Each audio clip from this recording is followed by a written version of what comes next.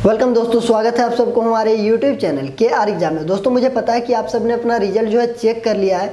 कुछ लोग बहुत खुश हैं तो कुछ लोग दुखी हैं, क्योंकि दोस्तों, इस साल रिज़ल्ट का जो प्रतिशत है, वो पचहत्तर प्रतिशत है। यानी पचहत्तर प्रतिशत विद्यार्थी पास किए गए हैं, जबकि पच्चीस प्रतिशत विद्यार्थी फेल हुए हैं। तो दोस्तों, जिन विद्यार्थियों को लगता है कि उनको जो नंबर मिलना चाहिए वो नंबर नहीं मिला है। क्योंकि दोस्तों, बहुत सारे विद्यार्थी हैं जो मुझे कमेंट कर रहे हैं कि, सर, मुझे स्क्रूटनी करवाना है, यानी कॉपी जो है दोबारा से चेक करवाना है। मुझे जितना नंबर मिलना चाहिए था, उतना नंबर मिला नहीं है, जिस कारण से मैं फेल कर गया हूँ या फिर मैं, मुझे कम नंबर मिला है। तो दोस्तों, ऐसे स्टूडेंट्स क्या करें? उनका जो है सप्लामेंट्री यानी जो होता है कंपार्टमेंटल एग्ज़ाम जो होता है, वो कब होगा? ये सारी जानकारी मैं इस वीडियो में बताने वाला हूँ कि अगर आपको नंबर कम मिले हैं तो आपको क्या करना चाहिए? आपको कॉपी रीचेक करने के लिए क्या क्या तैयारी होती है क्या क्या प्रोसेस होती है, सारी जो है इन्फॉर्मेशन मैं इस वीडियो में दूँगा।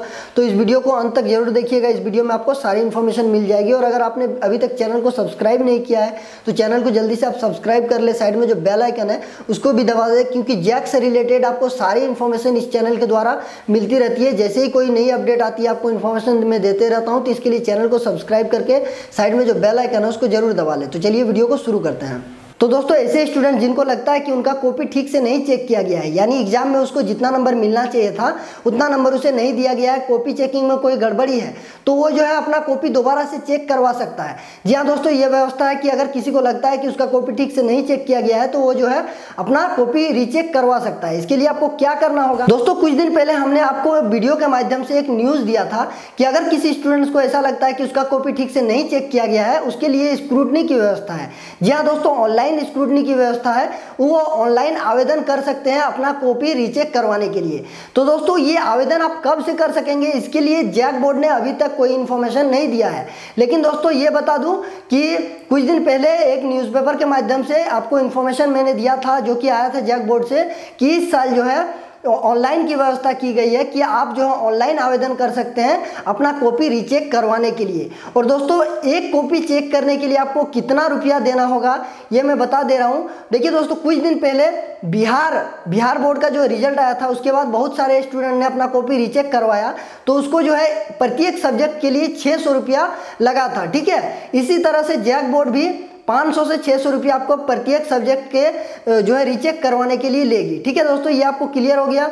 और कब से रिचेक होगा, ये जो है इन्फॉर्मेशन अभी तक जैक बोर्ड ने नहीं दिया है या फिर कब से आवेदन आप कर सकेंगे इसके लिए, ये भी जैक बोर्ड ने कोई इन्फॉर्मेशन नहीं दिया है। जैसे ही कोई इन्फॉर्मेशन मिलती है, मैं आपको इन्फॉर्म कर दूँगा वीडियो के माध्यम से। इसके लिए आप चैनल को सब्सक्राइब ज़रूर कर दें और साइड में जो बेल आइकन है, उसको दबा दें। जैसे ही वीडियो में डालूँगा, आपको नोटिफिकेशन मोबाइल पर पहुँच जाए। और दोस्तों, बहुत सारे कमेंट आ रहे हैं कि, सर, हम सप्लीमेंट्री देना चाहते हैं, यानी कंपार्टमेंटल एग्ज़ाम देना चाहते हैं तो कब से एग्ज़ाम होगा? तो इसके लिए देखिए जैक बोर्ड ने अभी तक कोई इन्फॉर्मेशन नहीं दिया गया है।